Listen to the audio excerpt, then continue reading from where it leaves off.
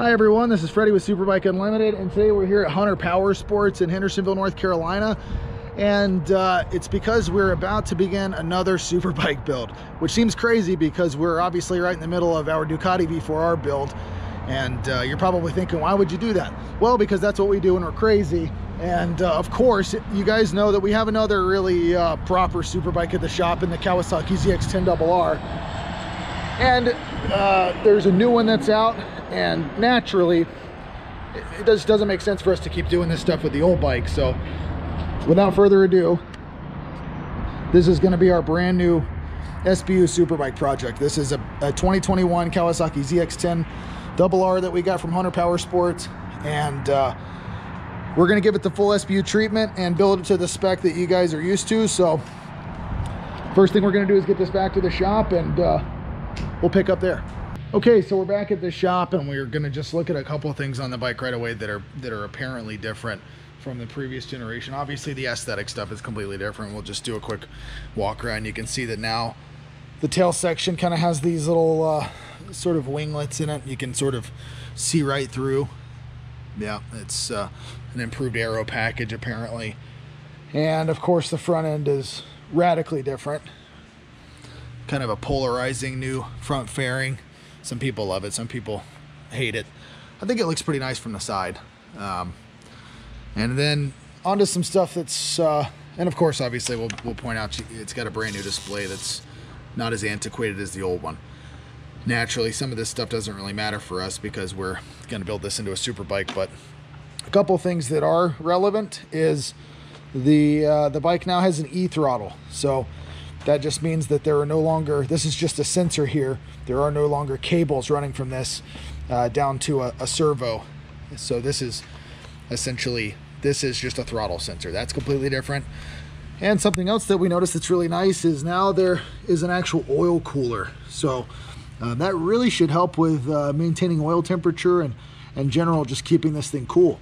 Um, that's just a big change because we haven't seen that on previous generations. It's always just had uh, a water cooler there. So we normally just put a big one.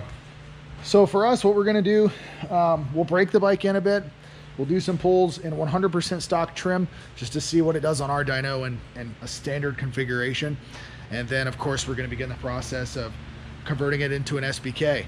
We're actually servicing our 2019 uh, motorcycle right now. You can see it over here. We're just gonna freshen everything up. We're not sure yet if we're gonna keep this as like a backup bike um, or if we're gonna put it all back together and sell it, but uh, more on that later. Um, for now, we're just gonna break this guy in. We're gonna run it on the dyno. Then we're literally just gonna tear everything down, put all of our SBK goodies on it. For now, I don't need, we haven't ordered any engine parts for it yet, so that's something we're gonna first just see how much power it makes with a proper Motec ECU and tune on it proper exhaust and air filter and potentially velocity stacks. That's something we'll dig into later. We'll see how much power it makes, and then we'll get all of our kit engine parts and uh, and really squeeze it a bit. So that's coming up. Okay, so what we're going to be going over before we weigh this bike in is the differences between the 2021 and the 2019 or 2020, which is what we've had previously. And I'd like to point out these are just the differences that we personally know of there may be other ones, and if we find out anything else, we'll be sure to update this. But for now, there are some pretty key differences. Um, so we'll get right to it. Uh, first and foremost, the gearbox is actually has completely different gear ratios from the previous generation ZX10. And uh, what I mean by that, we've made a little a little rundown, but essentially the the input gear and first gear are the same, but on the new bike, gears two through six are actually longer.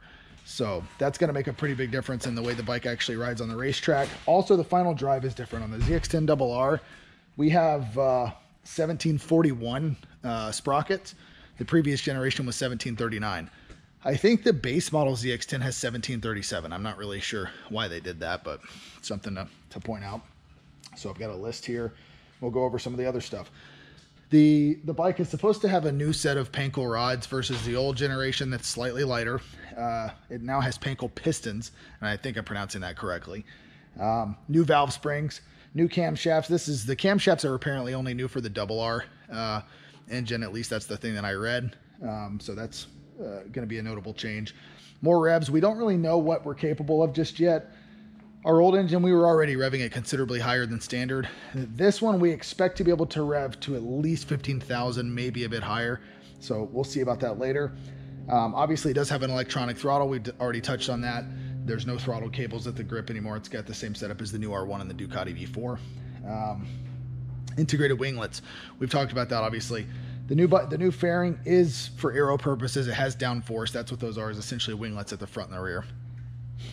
Um, updated chassis geometry. So that's something that uh, we had heard about. We've got a little bit of information on that. We don't have everything yet, so we're going to probably have to do some measuring and, and, and wait until there's a little more information that's readily available. One thing is that the triple clamps. The previous clamp had a 26 millimeter offset. The new clamp has a 28 millimeter offset. What that's going to do is decrease the trail and make the bike feel more nimble or flickable. So it's going to make it steer lighter and faster. Also, the swing arm is now eight millimeters longer. So that's one of those things. Generally in Superbike, we see the bikes, they're kind of getting longer and longer. It's probably just to make this bike more competitive as a super stock bike. Sorry about that. I got a phone call in the middle of that. Um, it's a Monday, so it's difficult to get these done. But yeah, that's that's the main stuff that we're aware of so far. The uh, the swing arm is stiffer, and also the um, of course it has that air to oil cooler now, which I think is going to be a really big upgrade. Unfortunately, it means our old radiator stuff's not going to work on this new bike, but it'll be interesting to see how the cooling is without that right away with just this new setup. So the next thing we're going to do is we're going to put this on the scales and see how much it weighs uh, in the trim that it's in now. And uh, uh, from there, we're going to begin the break-in process of this thing. And we'll probably have for the next video show you some dyno pulls after it's just broken in and fully standard trim. Something else we're going to go ahead and go over is just show you what the new dash looks like. We might as well enjoy this while we can because, of course, on our bike, we're going to be replacing this. So first of all, this is uh, one of the layouts available on the dash, and you can press the reset button one time, and it changes it from a dark mode to a light mode. So that kind of shows you what that looks like. And then if you hold the select button on the right handlebar right here, uh, and then this is your reset button here. This is what lets you change it from light to dark. If you hold the button on the right hand side, you can get into the menu and, and change and view all your other settings. So there is a, another base setting for the display. Here you can see that. That's type 1 that we're on now, which is the default. Type 2 is the other option. So we'll just show you what that looks like.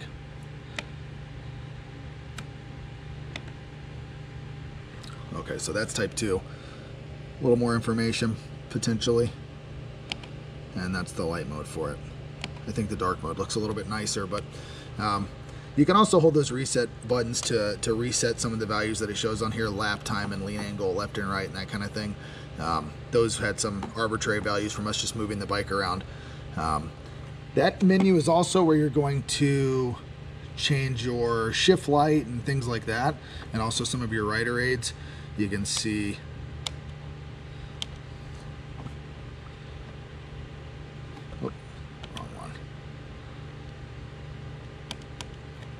Here we go. You can see this is where you change all of your rider mode settings. And a lot of this stuff is turned off. So like the quick shifting and um, launch control, rider mode, all that stuff was disabled on ours out of the box. I don't know if that's standard, but just something to point out if your bike's not, not working the way you expect. It could be that that stuff's all turned off. Okay, so next we'll do the weigh-in and we'll uh, see how it stacks up compared to the old one. All right, so we're gonna go ahead and see how much this bike weighs. It doesn't have a lot of fuel in it, so, you know, keep that in mind. There's probably gonna be 15 pounds or so that are unaccounted for. You want me to hold something? Yeah, put your foot in front of that if you don't mind. All right. You're a little We on? Okay.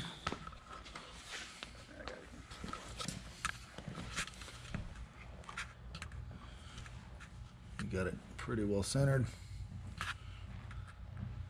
Looks like 443. Certainly not a featherweight. 444.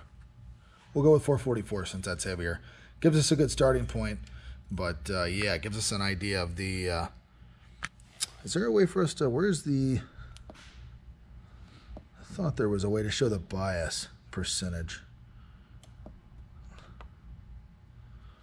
Hmm. Yeah, we should probably learn how to use this. Okay, so here we go with the center of gravity. So it looks like we're about a 52.6, 52 and a half front bias.